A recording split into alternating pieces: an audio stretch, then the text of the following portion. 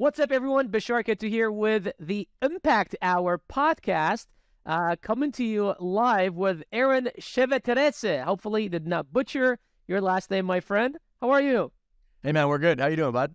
Good, man. Good. Uh, so last uh, episode, we uh, uh we finally came with uh, came up with a name, and thank you very much for everyone uh, that suggested all the awesome names for us. Uh, you know, we we announced the winner in the last episode. Well, that's, something that we're trying new, and, and you know, we'll try for the next couple episodes and see. Hopefully, uh, you know, hopefully you guys like it, which is just simply answering your questions. And this is just a way for us to give back to you, add value, and also create you know content for for what we're providing. So if you have any questions that you want us to answer, drop them below. Uh, we'll simply just grab you know five, seven, eight questions every episode. We'll answer them, have a, a cool conversation, and hope you guys enjoy it and come with us uh, on the ride. So, Aaron, man, what's happening? How are you today? Man, I'm great. It's awesome. Little winning Wednesday for the BJK company meeting today. Lots of good vibes in there. Yeah. Jumping on a podcast with you. It's a great day, man. I did some shopping this morning, bought some trees. That's some tree. I could see that. yeah. That's right. That's right. So, so something that I've been, you know, we've been seeing in the comments for a while, and um, and I've stayed away from this. I, I don't like controversy at all. Um, you know, as uh, last episode we kind of got into uh, politics a little bit and Trump and all that stuff, which was ah. un- un- very uncomfortable for me. Slightly, just a little yeah. bit, just a, a little, bit, bit. the top. just a little bit. But there is a very controversial figure, and uh, if you're listening, you probably already know who we're we're about to talk about. This is someone that's that's made a, a name for himself over the last, I think, seven, eight, twelve months, and uh, and his name kept on coming up in the comments. People asking us about like what do you think of this person? What are your thoughts you know of their message of of what's happening with them stuff like that. And you know I, i've tried to stay away but let's just address it. Let's maybe spend the next five ten minutes addressing it and, and answering some a couple of questions that i got here. I see that i have one two three specific questions. So why don't you first tell me what do you think of andrew tate what do you think of oh, his oh, message here we go uh, here we go all right, let me let me get in my Tate stance Wait, that all fourteen I year don't have old. my, hold on, let me take off my shirt. Hang on. Let me take off my shirt. Let me get in the stance of all fourteen year old males in the United States and embody my cobra. Yeah. So Andrew Tate, man, the guy. Regardless of what people think of Andrew Tate, you can't deny the fact that he creates a fucking movement. He knows how to motivate and inspire a certain demographic, right? He comes from the uh, male energy sort of dating sphere online from back in the day. He's nothing new, but he's transferred that into the new affiliate marketing model. And the way he did it was genius, right? Now, you could agree or disagree with a lot of his, his messaging around women and things. There's a lot of misogyny in there, yes, but there's also a ton of validity when it comes to depression, activity, working out, motivation, all that stuff I feel is on point. I feel he has some good, some bad.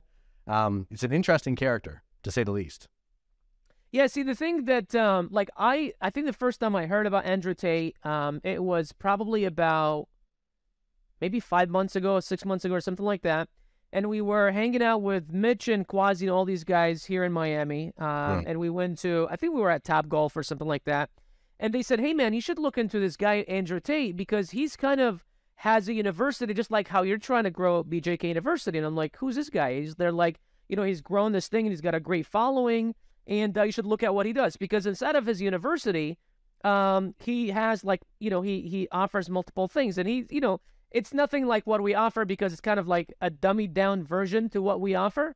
Yeah. Uh, but he's I think he's done an incredible job, and so I started looking into his content, and I just started seeing all the content online. I'm like, that's odd. What the fuck? That that's a weird way of of doing content, you know. Yeah. And um and then I I went home and I'm like, hey babe, have you heard of this guy Andrew Tate?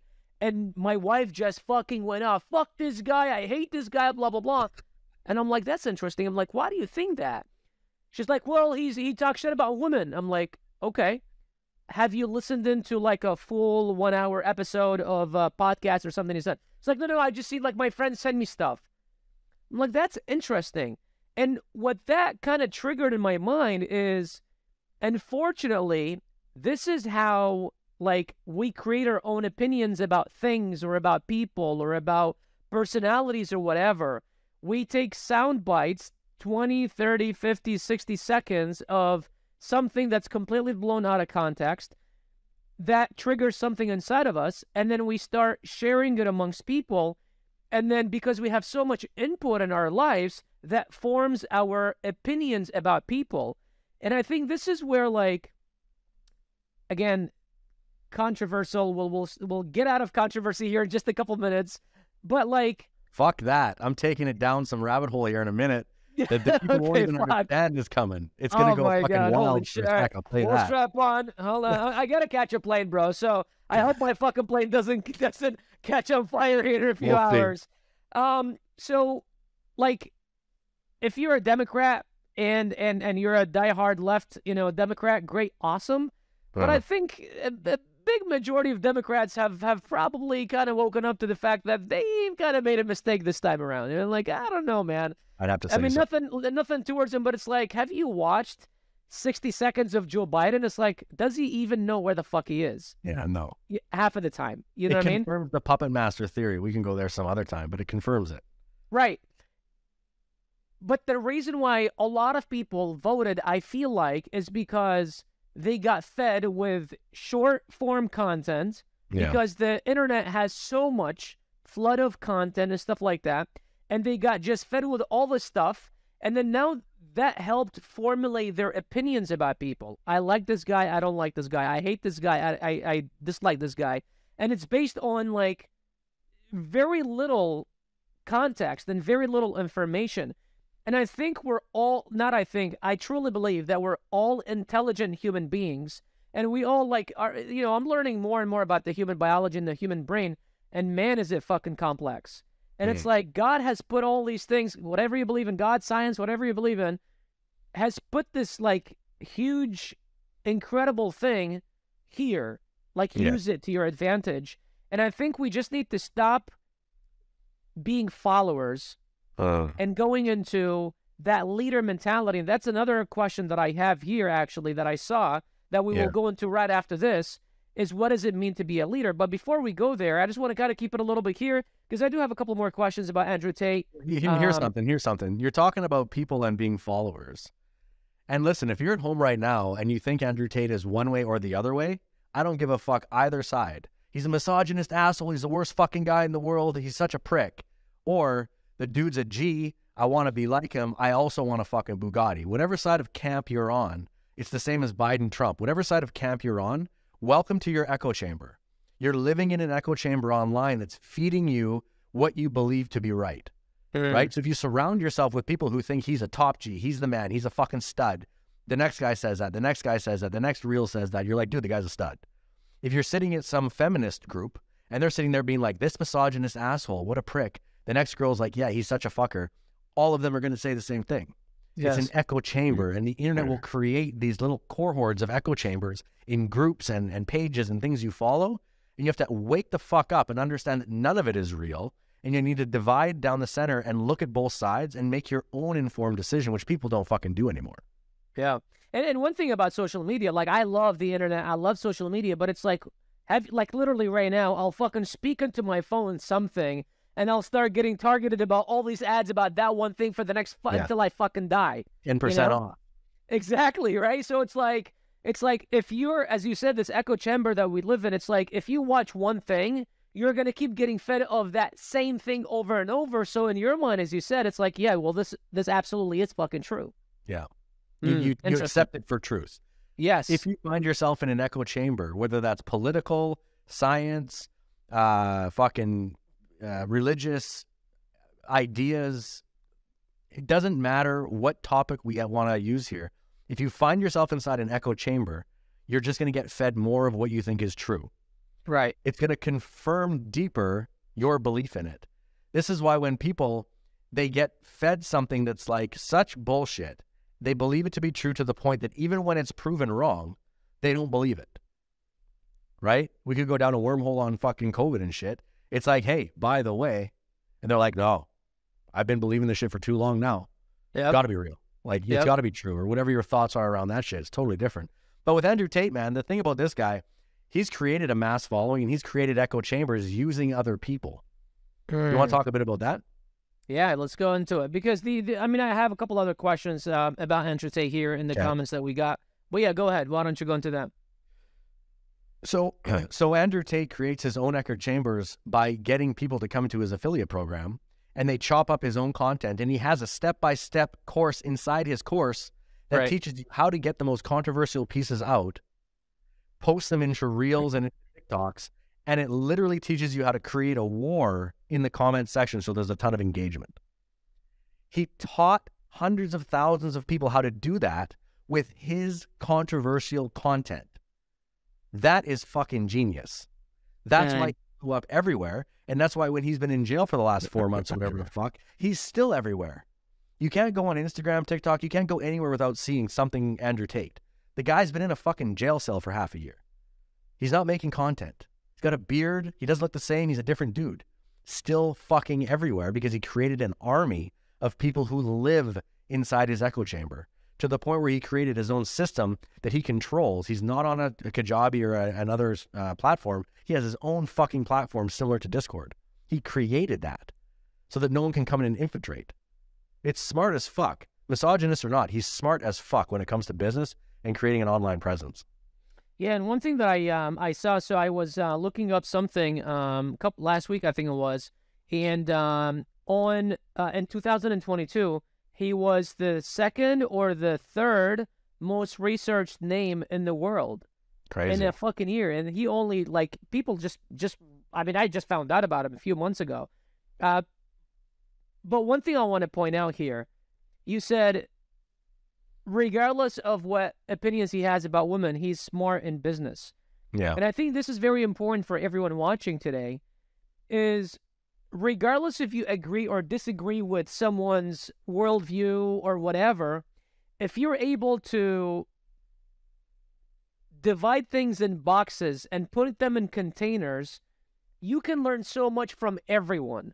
I don't have to 100% agree with you and like you and and fall in love with you for me to, in order for me to learn sales from you, right? Right. I don't need to agree with uh, uh, uh, with how Tony Robbins runs his life or his marriage or whatever, whatever, whatever, in order for me to learn from him how to find fulfillment in life. I don't need to, you know, 100% agree with Michael Jackson and what the fuck he did, you know, last few years for me to say, oh fuck, this guy's got some some pretty awesome music. You know what I mean? It's Yeah. like until this day, I have it in my playlist that I love his music. You know. Totally. So I think the problem, what happens here, is that people generalize. Uh, People generalize and they put an X or a check mark on someone, and they'll either. This is what's happened with like politics, right? It's they'll either fall in love with someone, re- disregarding everything else, and say this person can never do me wrong, right?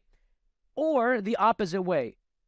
Trump is an asshole. Fuck this guy. No more. You know, like I don't care what the fuck he did. I don't know. Today my trainer said, "You've heard of the what is it? Something camp, the the no Trump camp or something like that. Cancel Trump camp. I don't know what the fuck he called it. You know." Yeah.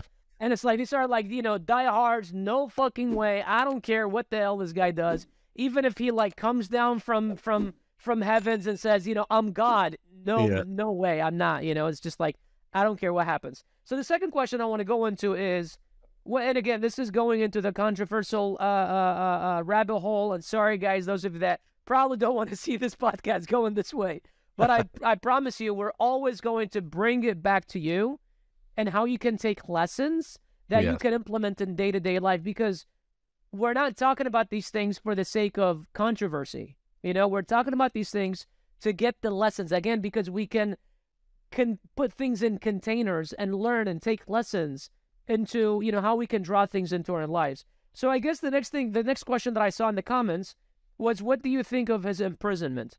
Obviously, by the way, he's he's been out for a few days now, so Yeah, man. I mean, that's a tough one in a few different ways. Like, there is, when it comes to Andrew Tate's imprisonment, you know that they have been doing like webcam girls and they've been doing this sort of sex industry business for a long time. He teaches it in his fucking university how to have a sex webcam business. It's his main income source. A lot of people don't know that.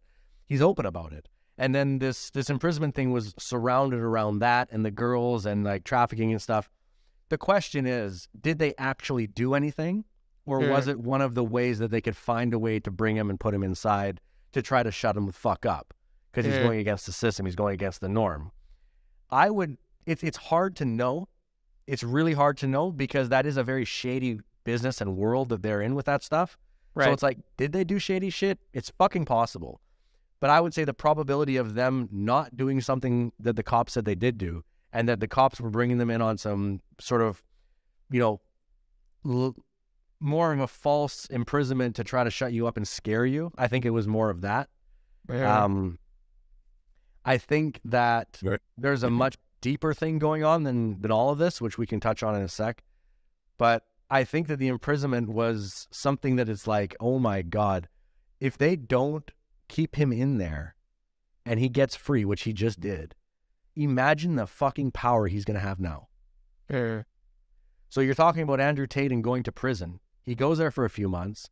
His whole following knows he's still in prison. He's still sending out his daily emails talking about his mindset in the jail. My iron mind in here. I'm doing push ups every day. Keep working hard. He's still motivating from fucking jail, right? Clearly, he's not writing it. He's got his secretary using ChatGPT or whatever the fuck, but he's still sending out motivation to people. When he gets out of fucking jail, he's just going to point the finger and see, say, see, see, I told you the Matrix was real. They just imprisoned me on nothing. Now I'm out. Buy my shit. I told you it's real. Buy my shit. That's what he's going to be saying now for the next six months. Okay. That's what I think. He's going to spin it in his in his positive. Interesting. Now, here's the thing that I um that I want to kind of just spend a couple seconds talking about is, um, again, agree with his message or not, like his message or not. The thing that scares me sometimes is this whole can- cancel culture thing that we have going on. Oh, dude. and that is it i think it's it's um the problem that i have with it is that just because you don't you don't agree with someone doesn't mean that you should cancel them and you should just kind of remove them and toss them out you should be able to be responsible for your actions and for what you say and this is why i want to kind of now take it into this this um this uh, kind of the next subject which was another question that we got and that was what does it mean to be a leader, right? Because for me, when I think of leadership, I think people always say, "Oh, well, you have to, you know, you have to have a movement. You have to, um, you know, you have to have a company. You have to,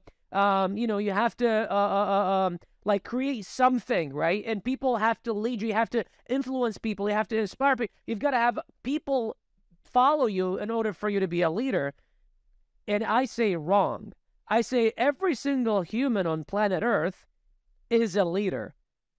You first start with leading yourself because if you can't lead yourself, you can't lead others.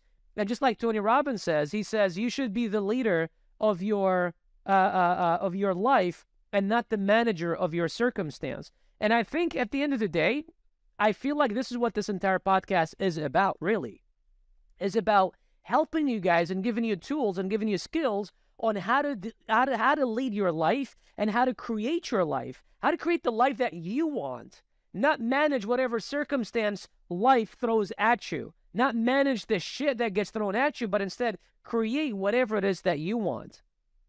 What are Fuck. your thoughts about leadership? dude preach on that shit all day long so leadership it's it's something that's very close to our heart you know because we're leading our family leading our teams leading the company leading our friends like you find yourself in a leadership role because leadership is taken it's not given Yes. i'll say it again leadership is taken it's not given you don't become a leader because of a new job title or a corner office or an upgrade on your salary you become a leader by being the person who is so in tune and grounded with who they are and what they're doing and their mission in life that they bring people along for the journey because they inspire them through what they're doing. Right? Inspired leadership, transformational leadership. You're transforming the people around you and you're all moving in one solid direction. That's fucking leadership. It has nothing to do with title. It has nothing to do with where you work, who you work with, what you do. You can be a leader with just you and your wife just you and your kids. You can be a leader with your entire community. You could be a fucking Elon Musk and lead the entire world. Whatever the fuck it is for you, leadership is taken by you. It's not given. Also, with leadership, let's talk about Andrew Tate for one more minute. Andrew Okay. Tate and leadership. I was Dude, trying to take it away from there, I but don't okay, there fuck. we go. got- Going back in there. going on him. This dude, this is gonna get ready to fucking put your seatbelts on for this shit. I think this is gonna bring all the controversy that we don't want to talk about into one fucking thing. I'm gonna go to Right. politics, religion, and Tate all at the same time because it's all Oh, fucking fuck. interwound. Oh shit! And then I'll, right. I'll keep it moving. I, Hopefully, I, we don't I- get I think after this we're gonna get canceled. All right, Hopefully there we we go. get canceled, right? If you don't agree, sorry, you fucking. I don't care.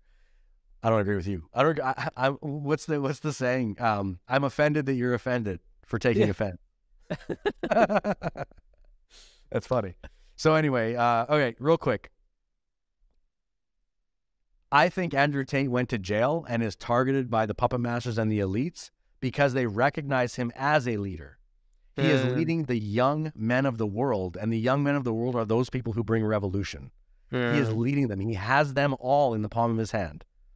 Yes. I believe that the elite of Hollywood and whatnot tried to get him in to their circle and tried to get him to be the puppet in Hollywood like they do with actors and celebrities, Post Malone, these types of people. And I think he said no. I think he said, fuck you. And when he said no, I think he went over to Dubai and different places for tax reasons and whatnot. And he met some sheikhs and some princes in Saudi Arabia. And I think they said, hey, you're one of the top fucking male leaders of the world right now. Why don't you convert the whole fucking world to Muslim? And he said, how much you going to pay me? Sheikh? And I think they said a couple billion. And I think he said yes. Because if you have noticed, Andrew Tate went to Dubai, became Muslim, streamed it live, and then he went to jail. And what did he say when he went to jail? I don't need anything as long as I have the Holy Quran. He got out of jail. What did you do every day in jail? I did push ups and read the Quran. He walked out in a traditional bead necklace. He carried the Quran everywhere he goes now. I don't think he's just becoming a man of God because he, he feels like it one day. Maybe. Incredible. Could be wrong. I think the Hollywood elite tried to get a hold of him to do that. He said no. I think he went to the Middle East. They had more money, and I think he said yes. Interesting. okay. What does it mean for everyone watching? It, it means that number one, leadership is taken, not fucking given. He took that shit by creating a persona on the internet, leveraging the affiliate systems and the stuff we talked about a second ago to create a ridiculous tribe of diehard followers. The Okay. most diehard followers you've ever seen are like him and Trump supporters, right? Outside of religion. He created that because he's a leader. He attached it to a value system that young men want to assimilate to, right? They want to get lots of women, lots of money, live the high life. Sure. Young American guys, they want that. Okay. He did all that. He created this persona. He became a leader. okay. And then now he has his choosing who the fuck he wants to assimilate with to help them and leverage his leadership in their world. Is it Okay. Hollywood? Is it pop culture? Is it Satanism? Is it Muslim? Is it Christianity? You take your pick, bro. You got the whole world in the palm of your hand. and I think Hollywood said, well, if you're going to say no, then go fuck yourself. You're going to jail for the rest of your life. Epstein Island type shit. Silence you. And now he's out. And that's what I'm saying. Now that he's out, true leadership is going to show through. And I think, I think I might be the only person in the whole world to think this. I don't know. I think he's going to be on a mission to convert people. And I think he's getting paid. Okay. All right. But the thing that I want to come back to is is like the lesson, the lesson that people can take from this and learn from this, right? Because I mentioned earlier, it's like regardless what you agree or disagree with, and this is something I've never thought about to be honest with you. But regardless what you agree or disagree with, uh, regardless what's happened to you in life, whether if it's you've made a lot of money, you've lost a lot of money, you've done whatever, there is always a lesson in everything. So it's like the everyday common man that's watching this. What can they take from what we just talked about, and how can they implement that into their life? The lesson you can take away from Andrew Tate becoming a leader, creating a movement, going to jail, and now possibly converting people into different fucking religion. The lesson you can take away from that is that he was once a common man. He was a kickboxer with no money. Now he's a multimillionaire with the most leverage out of almost anybody in the world. The lesson here is if he can do that shit, you can do that shit. The lesson here is that's truth that leaders are made by themselves, creating themselves into leaders. It wasn't given to him. Someone didn't just walk up to him and be like, hey, bro, here's a bunch of leverage. He fucking created that. So the lesson is if he can do it, you can do it. If Bashar can go from immigrant McDonald's, multimillionaire CEO, if he can do it, you can do it. If I can go from drug drinking party animal beach beach bum to, you know, head of sales for a big company, if I can do it, you can do it. Like it's just that if I can do it, you can do it. That is the lesson of all lessons when you see someone go from zero to hero. For me, that's what I always take away from it. So if someone say wants to start something or has started something and they're giving it their all, or at least based on their opinion, they're giving it their all. Okay. They're going and going and going and it's not working. Is there a time where they need to just cut their losses and move on, or do they just keep going because it's worked for you and it probably can work for me? That's a good question, man. I think if you found something that you believe, excuse me, if you're looking to be successful and you are failing, but you know other people have found success in the thing you're doing, and you feel that that thing you're doing, you can find yourself successful as well if you keep pushing. If you keep pushing boundaries, stretching yourself, meeting new people, implementing better, newer strategies, injecting all of your energy into it, being completely focused. If you truly believe that the thing that you're trying to do can get you there and you've seen it done before, you just keep fucking going. Full stop. And you will get there as long as you're giving it your all. Now, 99% of people, I've tried everything, I tried my hardest. No, you fucking didn't. You half assed it. You weren't focused. You didn't give it all your fucking energy. You didn't extinguish all resources, and then you fucking gave up. Quitters never win. Okay. So what would you say if if I was to say to you like, hey man, like if I came to you, right? I'm like, hey Bashar, I've been trying Amazon and you know, like I've been trying pretty hard, bro, but like I just haven't got there. It's confusing, it's kind of overwhelming, kind of frustrating. Like, I think I'm just gonna quit, man. Like, what should I do?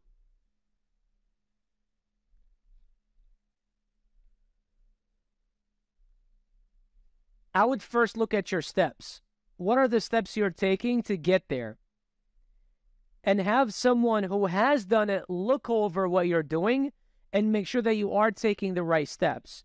I do believe that if it's been done for someone else, you can do it as well. But I also do believe that not everything works for everyone. With that said, I I have a personal kind of story or a personal experience because I had a restaurant and other people have made restaurants work. But I did not see that and I thought if I just keep grinding it out, I would find success eventually. And actually had an offer of two hundred thousand dollars cash. Damn. And I told him to go fuck himself and get the fuck out of my place. Fuck. I should have taken that and ran, bro. Yeah, you should have. ran. ran. Wow. But I did not know when to cut my losses. Yeah. And I think that's the fine line is being able to see when you're not on the right path and you don't have what it takes to get on the right path, cut your losses and move on.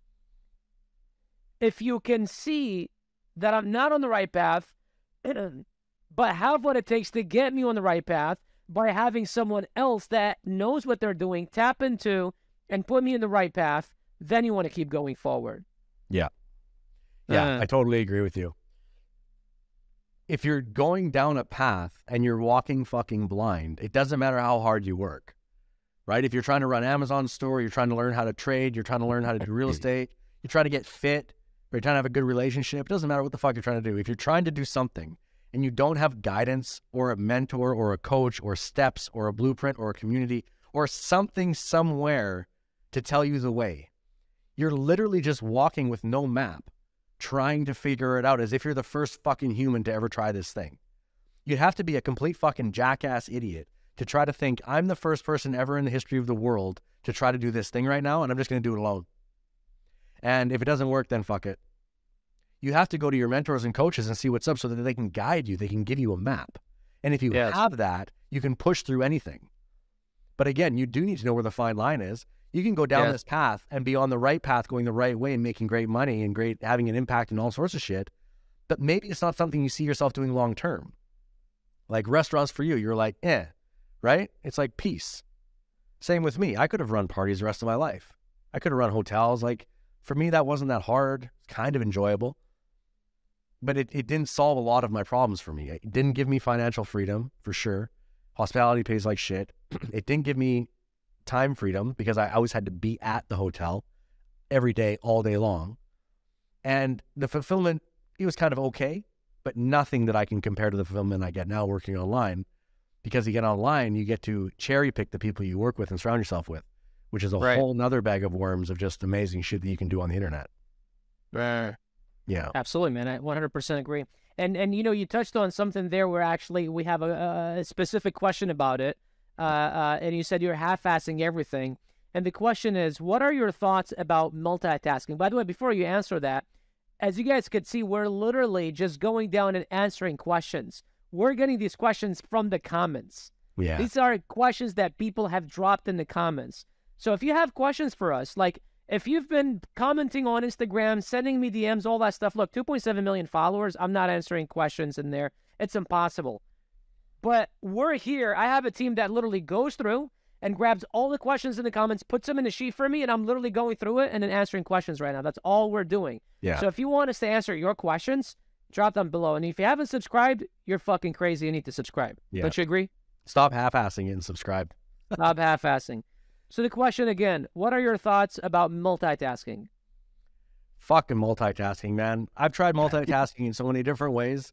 And for me personally, I found that like the more I multitask, the less shit that gets done.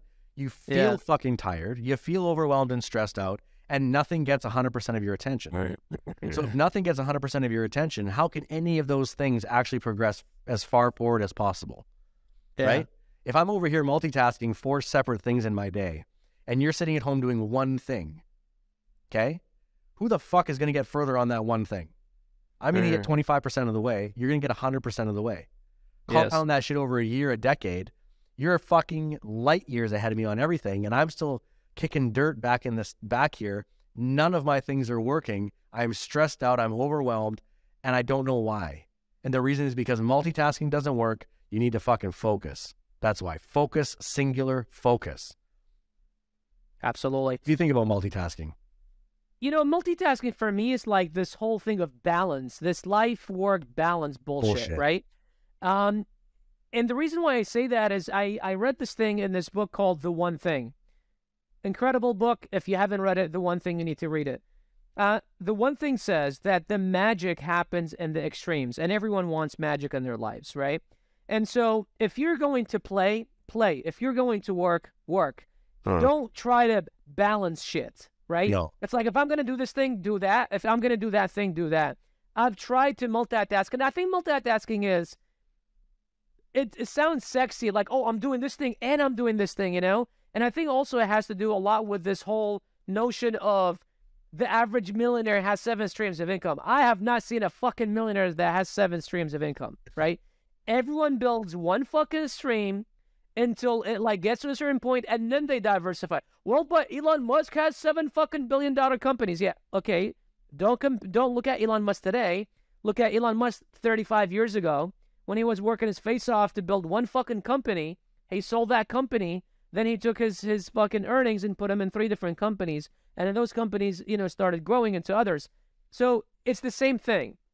You only have so much energy. You only have so much bandwidth. You only have so much time you could either half-ass five different things or you can go fucking full on on one thing and really master that thing because the magic happens in mastery right The magic happens in mastery. I like that. That's really good. And you know, while we're talking about Elon Musk, let's fucking go there for a second. People are like, "Oh, Elon Musk has seven streams of income." Dude, it's fucking Elon Musk. Full stop. It's fucking Elon Musk. You're not Elon Musk, bro. nah He's an outlier.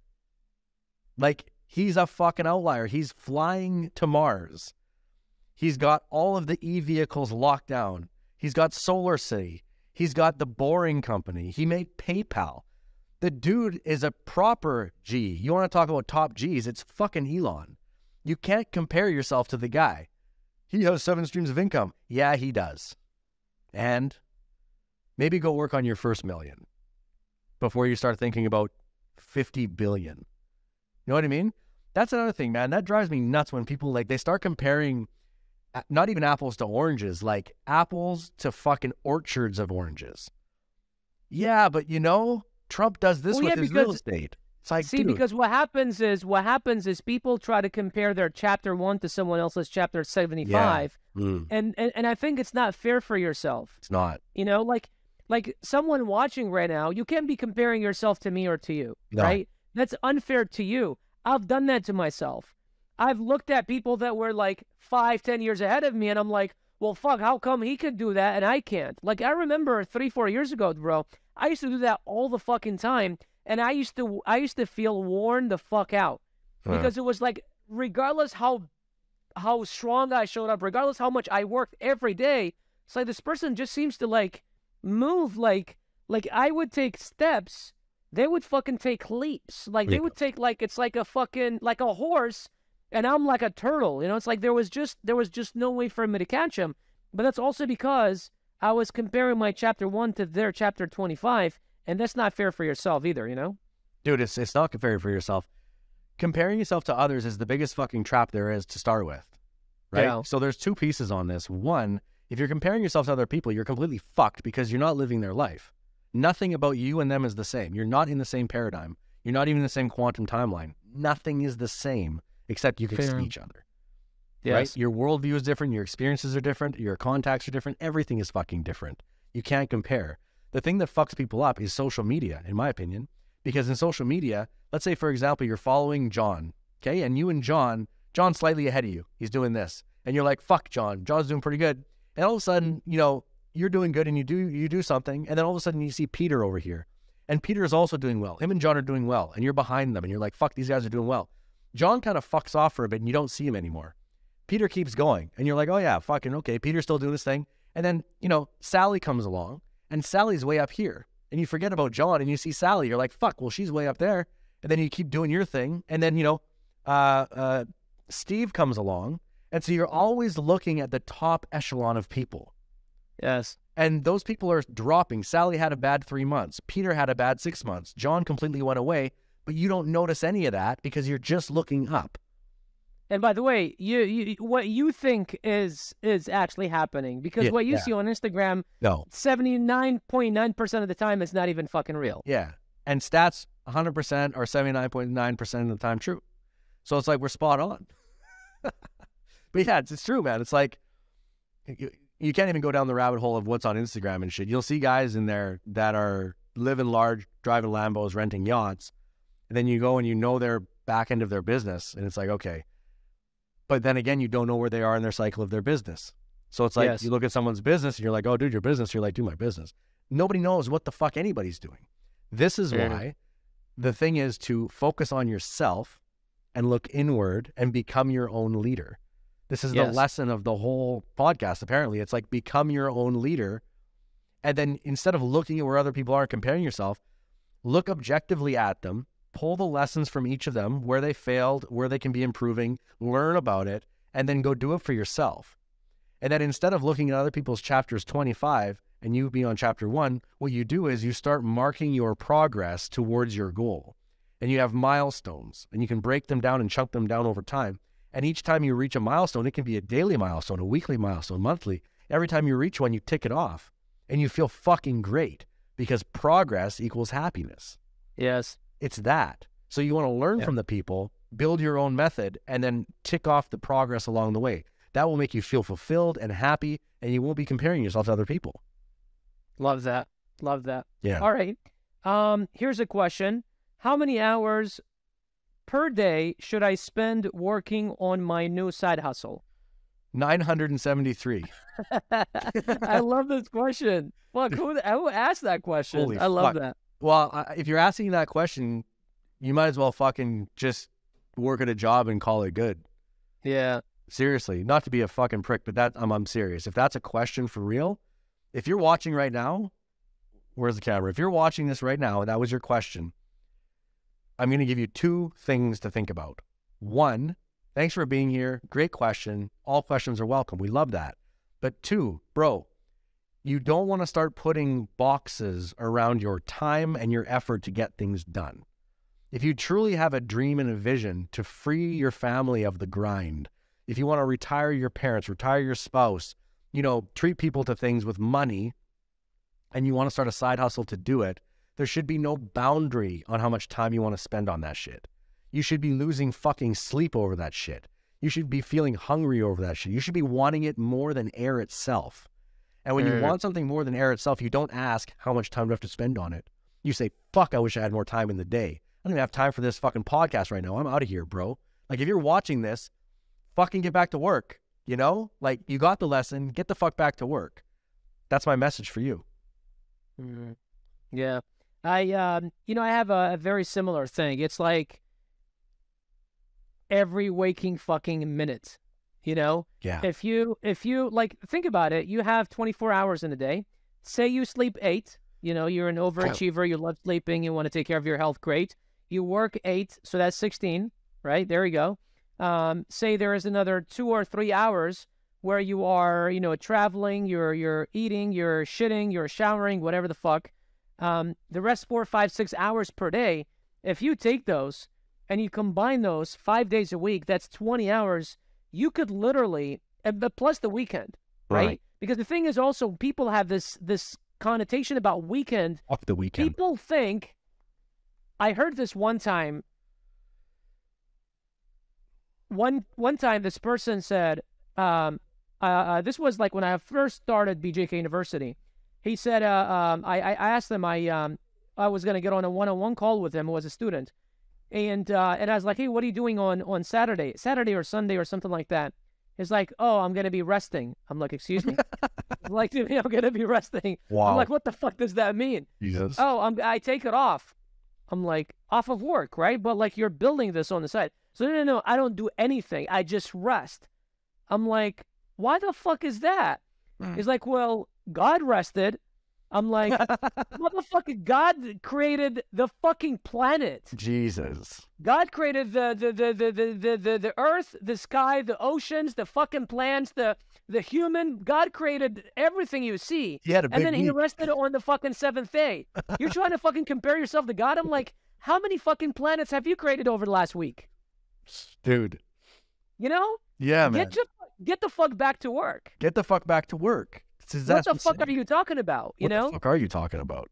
So it's like if you take the, the the four or five hours you have per week, that's about 20 hours per week plus your weekend, which would be literally the whole fucking thing, day and night. That's probably about a total of 30 to 40 hours. That's about a full another full-time fucking job that you actually have. So when people say that I don't have fucking time, I'm just like, no, you are just uninspired. Uninspired. That's all it is. You are unfucking inspired because if you have, and this is why when people say, "What the fuck is the first thing that I need to do?" I'm like, find your fucking why. Find a strong why that fucking drives you. Because if your why was strong enough, you wouldn't be asking this fucking question. You would be like, "Hey, bro, what else can I fucking do?" Yeah. Yeah. Oh man. It's true, bro. It, it's like I can look back on my journey when I started online, sitting in Asia, struggling with losing our businesses, losing our companies. And I was like, holy fuck, I need to make something happen. I didn't fucking rest, bro. I pulled all nighters a lot, a lot, multiple times a week. I didn't fucking sleep because I was just, I had too much shit to learn. And I was in the mode of like, teach me everything and anything and all of it all right now. Let's fucking go. You know, 5,000 Red Bulls later. I did not pause to say, how long do I need to do this? The only time I paused was to call a mentor or a coach and be like, how the fuck can I do this faster? Right. What corners can I cut by learning something from you right now? Here's where I'm at. Here's my next milestone. How the fuck do I get there faster? Because I got nothing but like a long road ahead of me and I need to do more shit faster. Yes. And now the mistake that I made, that if you're at home listening to this, the mistake that I made was trying to multitask in that moment. I thought that if I brought on tons of projects, I could get there faster. The truth is, if I just brought on one, I would have got further faster with the one. But I wouldn't have found the thing that I loved and that I'm fucking good at that I can do forever. Because I had to go through lots of iterations and changes and learning moments of like, I don't like that. I suck at this. This doesn't make money. I do like this, but it doesn't make money. I don't like this, but it makes a ton of money. Okay, I'll do that for a minute. Well, I got to find the thing that I can make money at and, and can stand. Uh, uh, found it. Boom. So I had to like do that overwhelm at the beginning, but nothing was going to stop me, man. I was like a fucking steamroller, you know? So it has nothing to do with wanting to get more time and sleep and rest on a fucking Saturday. It's like, why the fuck are you doing it? Write that shit giant across your wall. Remember what it feels like not to have it. Imagine what it's going to feel like to have it and then fucking get to work. Yes. Awesome. Two more questions. Um, gotta run. I have a, a flight to catch. Fuck, I'm, Um, hurrying I'm, up. by the way, I'm I'm about to fly to, to San Diego, and before I did that, I'm like, gonna record a podcast because next week can't fucking record one. Sweet. Won't be in my studio, so gotta deliver value to you guys. So look, if you guys are enjoying this, uh, appreciate you guys watching. If you haven't subscribed, please subscribe. Please drop a fucking comment below. Let us know what questions you have because as you can see, we you know we run down. This is gonna be a little bit of a shorter one because I gotta run, but today we've answered one, two, three, four, five, six, six questions so far. We're gonna answer two more. So make sure that you guys drop your questions below. Uh, you know what I would love, Bashar? You know what I would Yes. love? I would love Yes. for them to tell us what they think of Andrew Tate. That's you what I. really, you really, you really don't want to let that one go. Fuck! No. I probably shouldn't have brought it up. Son I want to see. I want to see what's going on in the comments here. I want to see what the audience thinks of Andrew Tate going to jail. What he thinks about women. I want to see all that shit. I'm interested in people's opinions. Okay.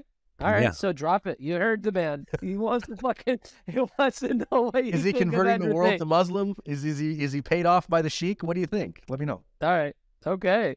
All right. Well, Uh, down the rabbit. I rabbit said I hole. wasn't gonna go through this fucking down this fucking rabbit hole. God damn it. I Okay. know. All right. Uh, moving on. Um, question: What are some tips on how to benefit from today's economy? Ooh, that's a good one. Well, I know that you've been um you've been working with uh you know your investment team and stuff. What are some of the things you've learned about the cycles that are going on and things right now and what's coming down the road? Ironically, I have both of these books on my reading stand here for you at home. Grab these books if you want to understand the cycles of the economy and what's going on. Ray Dalio's books. But you know what's interesting? I actually just downloaded that book for the plane. The Oh, the changing of the world uh, world cycle, whatever the fuck it's called. dude, Yeah, the order. unbelievable. This shit's crazy. Why nations succeed and fail. Yes. Listen to me right now. If you're at home watching this podcast and you're wondering how to get rich, how to make money, how to work from home, how to build an Amazon business, how to free your parents, how to free your wife, how to free yourself from this fucking bullshit slave world that we're all living in, if you're not reading books like this, you don't want it. If you don't know about it, now you fucking do. These are the kind of books you need to be reading and learning yes. so that you can set yourself free. If you're not doing that, you're half assing it. This is what we're talking about. There's not enough time in Mm. the day, bro. Right? You saw the stack of books I just got in today from Amazon. I showed them to you on the meeting. Yeah. Fucking six giant books there. I can't read them that fucking fast. I wish I didn't have to sleep at all, man. Yeah. So, what So have you learned about answer- the economy? Tell me. Yeah, so to answer that question, um, some of the things that I'm doing is I'm uh, first of all I'm building a um, I'm starting to invest. This is something that I've never done before, so I'm starting to invest, put some money into the market, building a portfolio actually based on uh, Ray Dalio's all-weather portfolio. So took a a pretty much a strategy out of Tony's book that he learned from Ray Dalio, built a portfolio uh, that way. So taking a certain amount that gets deducted from my account every single month, I don't see it, it just goes into that portfolio to build it. So doing that, doing some investments there, just so that way my money's kind of growing on the side. Yeah. But the other thing is really just um, doubling down on growing the business, right? And and and what I mean by the business is two businesses: Amazon selling business and uh, uh, uh, uh, BJK University. So Amazon selling business. Two years ago, I sold my my my like kind of like my Amazon account, my Amazon brand, and I haven't been an active Amazon seller personally for the last two years. Instead, because I knew that I was interested in the coaching and really teaching people, then I was like, well, fuck, how am I going to do that if I'm not actively selling? I can't teach someone something because I try to do it. Six months later, I realized my strategies were outdated because Amazon is just continuously growing. So instead, what I did is I took our top coach, our top uh, student, I mean, and I invested in his Amazon business. And I said, hey, you're a six a six figure Amazon business. Here's some cash. Let's take you to a seven figure Amazon uh, seller, right? And then all his his learnings he started teaching to our students. So now we have seven coaches in our program, our Amazon mentorship program, and I'm invested in four of their businesses. So I'm now more of an investor than I am a seller, right? They're doing the everyday selling and they're working with our students. So this this year I'm committing about six hundred thousand dollars to invest more in those four businesses because I know that Amazon is gonna fucking skyrocket. These four businesses will probably do over ten million dollars this year alone. So that's one thing. The second thing I'm doubling down, tripling down on BJK University. You know? Because one thing is something that people don't realize is that a business will hedge against inflation. Yes. Investments will hedge against inflation, but the thing that hedges against inflation more than anything else is a business. Because even if inflation, exactly, even if inflation is 10% per year, which is it's never gone that crazy, but even if it's 10% per year, if you can grow your business by 20%, you've already hedged against inflation by double Yeah. right? If you're BJK University and fucking increase your business by 10, 10 fucking 10 times, right, overnight, then that's different. With Amazon, for example, we're always looking to at least double our our last year results, right? So if you did $100,000 last year, you should be doing $200,000 this year. Well, So you've just increased your business by a hundred percent. So even if inflation is ten percent, you are already ninety percent on top of that. So what I would say is, if you don't have a, if you don't have a, a a business, or if you don't have a career, or if you don't have something that you can hedge against, like for example, for you right now, Aaron, it's like you're a partner in BJK University, right? Like as BJK University increases, you are automatically hedging against inflation because I, mean, I don't know what the fuck it looks like in, in Switzerland or whatever over there in Europe, but it's like you are um as the company grows, your income grows, your interest grows, your value, your vested value grows. Yeah. So you are like way overhedged against inflation, right? But if you're watching at home and you just have a job, and say you're getting maybe two, three percent rates per year, which is what a, a traditional job gets you, that probably isn't the way to do it. You would need to have another vehicle that grows at least ten to twenty percent year over year, so that way you can hedge against inflation. And and and personally, that's what's going to help you in this economy or any other economy. I love it, dude. I do. This is a massive topic, especially right now with the way the world is. I know a lot of people are scared. I know a lot of people are scared because of the way inflation is and everything is right now with the world. But for me personally, I can just tell you what I'm doing. I know number one is you always want to be investing in yourself. That's the first big investment you need to be making and constantly making it. Always upgrading how much you know, what you know, the mindset you have, the belief patterns you have, you know, doubling down on your health, doubling down on masterminds and communities and groups and networks. All of that shit is the foundation for you to set yourself up financially. As far as financial uh, stuff goes, for me, I want to keep it in things that I can control and things that I understand. Right. So much like you, I have an automated account that gets taken off the top of my income every month and it goes into a investment account that's very simple. It follows the S&P 500. It's medium risk and it's just going there and I don't think about it. That's great. That's one little thing. Another thing is we invest in private equity, right? So we invested in Sam Ovens with Skool. So this is considered a higher risk investment, but we double down on it because we use the software ourselves. It's part of the foundation of the company growth that we're doing. And we know the founder directly and we know how successful he's been in his track record and we believe in him.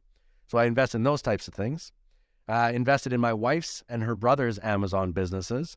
I helped them fund that so they could get that off the ground. And, um, you know, I, I might buy some Bitcoin here and there, you know, just because fuck it, grab some Bitcoin. So, right? it's like all of these things over time will create wealth for you, but you're not off just splashing money around in risky areas and things you don't understand. I understand BJK University.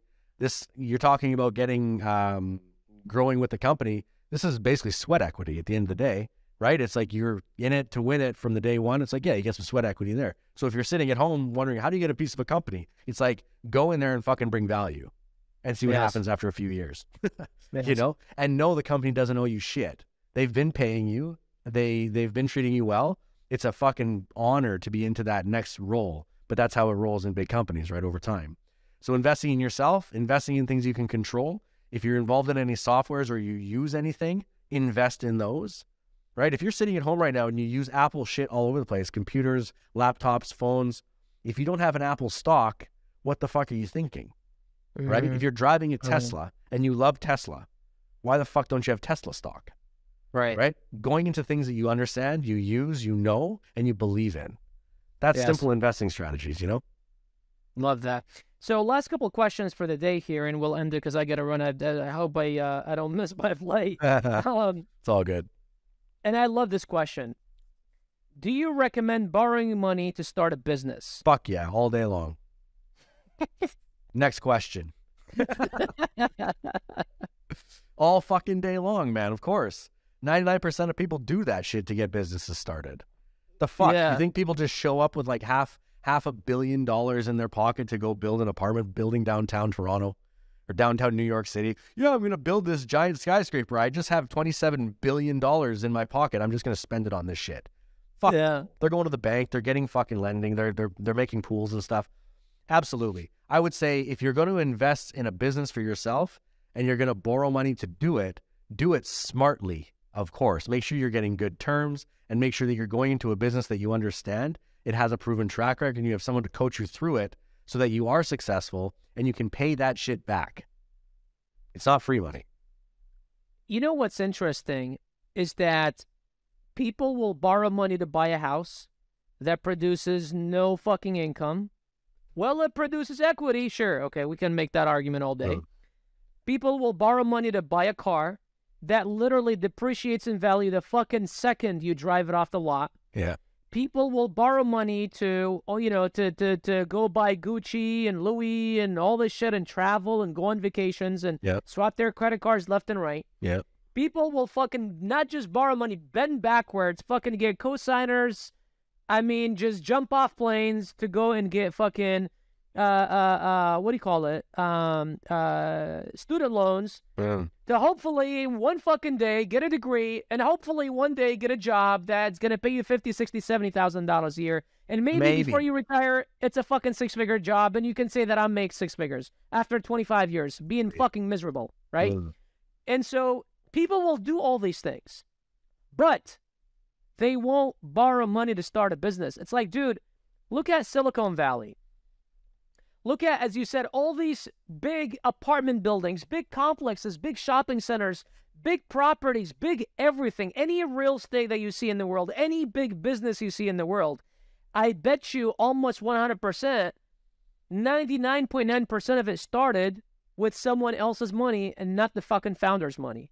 The founder maybe, maybe put in 20, 30%, if that. If They that. probably put a lot less than that, right? It's this whole connotation of don't borrow money. It's like, dude, you already have been doing it since you were a little fucking child. Yeah. You just haven't been doing it for the right reasons. If you are borrowing, let's say, like this is a common question that I get in the community is like, should I use my credit cards to buy products to sell on Amazon? I'm like, all right, well, let's look at this in a logical kind of way. What is your interest on your credit card? Well, it's anywhere between, you know, depends on what it is, anywhere between 12 to 17, 18, 19%. Okay, cool. How much do you expect to make a return on your investment with an Amazon business? Anywhere between 20 to 30, maybe even 35%. It's like, okay, if I were, say, for the first six months, say for the first year, borrow at 15 to make 25, isn't that worth it? That's an extra 10%. Well, but I'm paying 15%. Well, no fucking shit. You're use you're growing a fucking business and making 10% on top with no one's fuck with not none of your fucking money. It's like what's it's like, well, what's the what's the, the what's the other side? Oh, well, I sit and, and wait and save and hopefully in 2 years I can get started. Okay, well, would you rather wait for fucking 2 years or get started today and make 10% as you go? Yeah. Here's the thing about waiting to save to start a business. Wake the fuck up if you're thinking that. Why? Why don't you have the money now then? Because you're fucking spending it, bro. Humans have a way to spend money to get them down to where they're used to being comfortable. If you're Sure. used to being broke and having zero to like anything between like 5K in your bank and under, whatever, consider yourself broke, right? Like that's really broke. Okay. If you don't have that in your bank now and you're saying, yeah, you know, I'm just going to wait a couple years till I save up five or 10K, it's like, dude, if you don't have it now, you're definitely not going to have it then. You're going to have fucking less because you're going to continue living the same lifestyle. You're going to have the exact same income source you have now. Inflation's going to eat that shit alive, and you're going to lose motivation and inspiration between now and then. You're going to be in a worse position with worse money. Yes. If you don't have it today, you definitely won't have it in two fucking years because what Yes. got you here won't get you there. What got you here will get you more of where you are now, and it'll be fucking worse. That's why you borrow money or do whatever the fuck it takes to get resourceful to start a goddamn business now when you're motivated, when you're pumped, when you see a window, when you find something that works and you find people who will help you. You fucking go all in on that shit and you figure that shit out now. Yes. Fuck yes. Yeah. With that said, ladies and gentlemen, we will finish and end this one right here. I have to run before I think my wife is about to run into this room and be like, "Let's go, motherfucker! It's about it's about time." Yeah. Uh, if you guys enjoyed this, please share it with someone that you believe will benefit from this.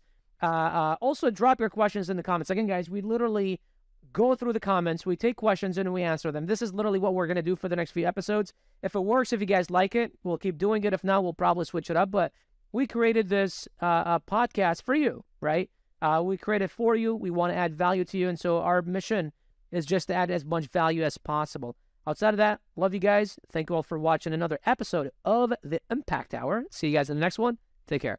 Later.